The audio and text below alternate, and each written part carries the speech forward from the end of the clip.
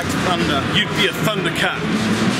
This is, uh, Oh! I mean, physically, look, I, I have a regular sized man's hand. It's like, it's like the entire neck just for a hand. So I'm kind of guessing that Stephen Thundercat Bruner has got enormous hands, gigantic feet, and very popular with the ladies. Um, He just started a rumor, bro. what else? This And he's saying Gary Willis doesn't. well, he's a white guy, isn't he? So he probably Oh, doesn't. no. This yeah. Um, so, what else have we got here? They're doing that kind of um, bare scratched finish on some semi-acoustic basses. They're kind of cool. Nice, man. Yeah, I, I, I, I am, I am kind of This is sick. Look at this Converting. yellow thing. Really like that. Gerald Veasley.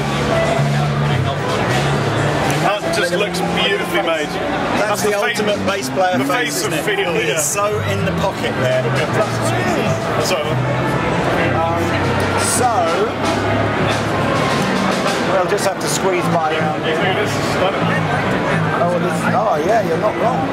This is BTB, isn't it? I always kind of thought BTB was a slightly sort of crazy shaped body with really, really long extended I horns. would feel, you know, like a think we're right. It's like I would rather beat them. And they should have done a black instead of white. That's a big mistake. It's probably single Oh, of course. Yeah. See, what's the? That looks sick. I kind of think it does, but it, but Oh, I just want to touch it. if you play, I mean, obviously you, you, I don't know. I mean, I'm not a bass player, but clearly once you get past the 11th fret, it kind of forces you to play almost like a classical style. The back of that, kind of That's funky. really nice. I wonder if it's done for balance, maybe, or just I think you might be right. pretty well balanced. It's just more more a defensive area for fighting off people on stage. That's beautiful. Yeah. We should find out what wood that is. Oh my god. That looks I have no idea, I but it looks it. stunning. I really like that. Yeah, that's that's stunning. So this is all SR series. You guys are probably familiar. SR series has been like the best-selling baseline in the world for a while now. Just tons of new colours, really. So that kind of glossy grey, the sort of the browny kind of metallic, the blue fade sunburst. Loads of cool new colours, and again, all incredibly affordable. All around about the 300 pound mark for an SR 300. Uh, what else we got? Some flame top ones over the other side. Oh, they've got my favourite wood. Let's go look at that one. Oh.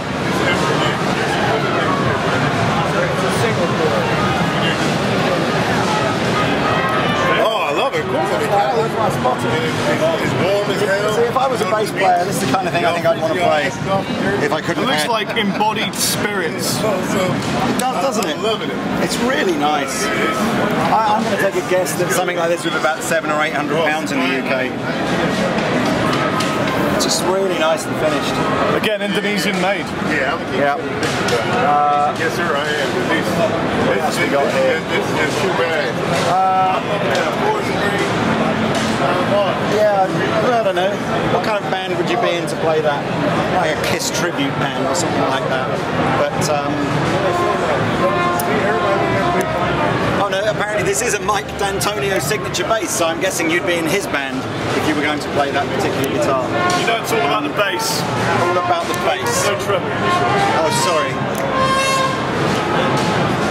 Oh. Uh, about the uh, bass. you know that kind of crazy shape, not crazy, but that Talman shape that I was kind of saying to you, some years I like it and some years I don't. Range of bass guitars in that same kind of shape. So, um, there we are. A little bit of old, a little bit of new. A little bit of fat A little bit of haircut. In your love a little bit of bass guitar in your video. Yeah, these are pretty, aren't they? Again, I love the use of all the laminate woods. Um, sure if I'm qualified to tell you bass players what's good and what's not, but I did my best. That's nice. Look at this one. I like that. I like the. Do I like that? Yeah, I think I like that. Do you I liked it from a distance. Yeah, and now I'm close And up. I like it up, less. I'm not so sure that I like it as much. That would be okay as long as you always played in a band where there was like a regulation distance. Or if you had a really long strap. Yeah. So yeah. you could look at it from far You would away. have to have a sign, don't stand Anywhere near this bass. Yeah. this bass. And then it looks great. You know, I think we descended into talking just ridiculous rubbish. I think you're right. Okay, um, Ibanez I really hope you've enjoyed watching these videos. So do I. We're near the end of day one. I sincerely hope that. Um, yeah. It's going to get better. I Let's promise you. Bye.